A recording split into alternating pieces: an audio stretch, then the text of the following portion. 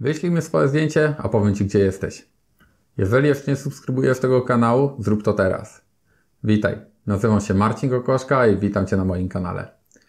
Dzisiaj opowiem Ci, jak w branży nieruchomości można wykorzystać technologię. Wręcz powiedziałbym, że zaawansowane programy, czy też wiedzę zaawansowaną z wyciągania informacji. Cała dziedzina nauki e, nazywa się OSINT, Open Source Intelligence Tools, e, wyciąganie informacji dzięki różnego rodzaju narzędziom z teoretycznie ogólnodostępnych mm, baz danych, natomiast takich baz, w których ciężko jest samemu znaleźć te informacje bez specjalistycznej wiedzy lub bez specjalistycznych e, narzędzi. Dzisiaj opowiem o tym, jak wyciągnąć z zdjęcia geolokalizację.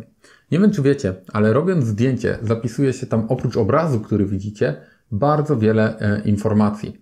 Zapisane są informacje na temat oczywiście rozdzielczości, tak, kolorów, ale też yy, takie rzeczy, jakim aparatem to zostało, te zdjęcie zostało zrobione, jakie ustawienia były w danego aparatu w mm, danym zdjęciu, jaki dokładnie model telefonu robił te, yy, te zdjęcie, a nawet jeżeli mieliście włączoną geolokalizację w tym momencie, zapisana ona jest w tym zdjęciu.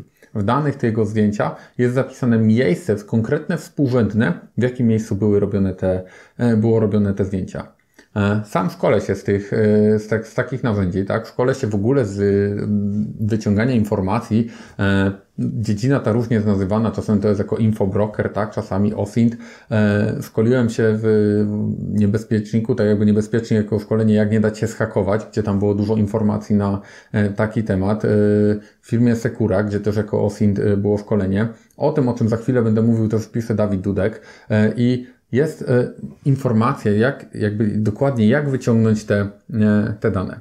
I po co to robić? Tak? Jeżeli mamy pośrednika nieruchomości, jeżeli mamy kogoś, kto robi zdjęcie i wrzuca je, zrobi zdjęcie domu, zrobi zdjęcie mieszkania i ma włączoną geolokalizację i później je udostępnia w internecie, no to bierze i e, udostępnia nam dane dokładnie tej lokalizacji, tego, e, tej nieruchomości. Jeżeli idzie pośrednik i robi zdjęcie domu, no to on musi przed nim stać. Jeżeli my mamy dokładną geolokalizację miejsca, e, w którym on to robił, mamy dokładne miejsce, gdzie, który dom jest na sprzedaż i gdzie on jest. Jeżeli to nie zostanie wyczyszczone przez takiego pośrednika lub przez portal, na którym to jest udostępniane, no to jako po prostu użytkownicy tych, tych zdjęć możemy po prostu w te miejsce pojechać i zobaczyć, jak to, e, jak wygląda, kto jest właścicielem i się tam dogadać. Sprawdziliśmy to e, i muszę Wam powiedzieć, że większość, zdecydowana większość dużych portali internetowych, takich, których jest dużo ogłoszeń, w momencie, kiedy zdjęcia są wrzucane, wycina wszystkie metadane. Wycina te informacje i jeżeli ściągniemy takie zdjęcie, nie ma tych informacji. E, zrobiliśmy test i sprawdziliśmy, akurat na terenie Śląska, sprawdziliśmy 100 biur pośrednictwa nieruchomości e, i sprawdziliśmy ich strony internetowe. Ściągnęliśmy wszystkie zdjęcia, jakie tam były i okazało się, że 12% zdjęć, wszystkich, które ściągnęliśmy, miało włączone metadane. E, nie wszystkie miały geolokalizację, dlatego że część pewnie była robiona telefonem, który miał wyłączone geolokalizację, a część była po prostu zwykłymi aparatami mm, robiona ale w jakiejś części te informacje e, były.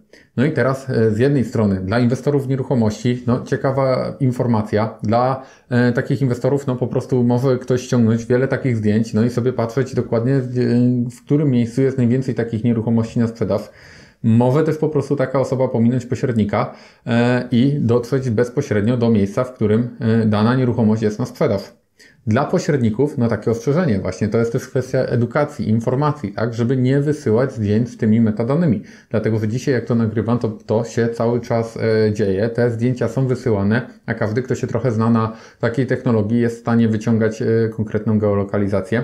Dlatego albo korzystać z tych największych e, portali, które od razu przy wrzucaniu wycinają te wszystkie e, dane, albo się po prostu tego nauczyć e, robić. Tak? Są gotowe narzędzia, są strony internetowe, które z jednej strony wyciągają wszystkie te metadane, wszystko co jest w tym zdjęciu, ale z drugiej strony jest w miarę łatwo jakby też usunąć wszystkie, wszystkie te dane. Jeżeli nie chcemy korzystać z zaawansowanych narzędzi, jeżeli nie chcemy korzystać z gotowych jakby programów, no to można też kliknąć myszką na dane zdjęcie po prostu prawym przyciskiem wejść w właściwości i jest tam jakby informacje, tak, ile dane zdjęcie waży, kiedy było zrobione, jest też zakładka GPS.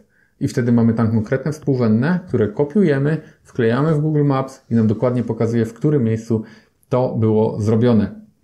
Myślę, że to jest ciekawe, e, dla mnie to jest ciekawe, e, też jakby dzielę się e, tą wiedzą, mi takie rzeczy się podobają, ale jestem bardzo ciekawy Waszej opinii na ten temat. Czy dla Was to jest interesujące? Czy chcecie więcej informacji tego typu, jak wykorzystywać narzędzia takie, jak wykorzystywać technologię w biznesie?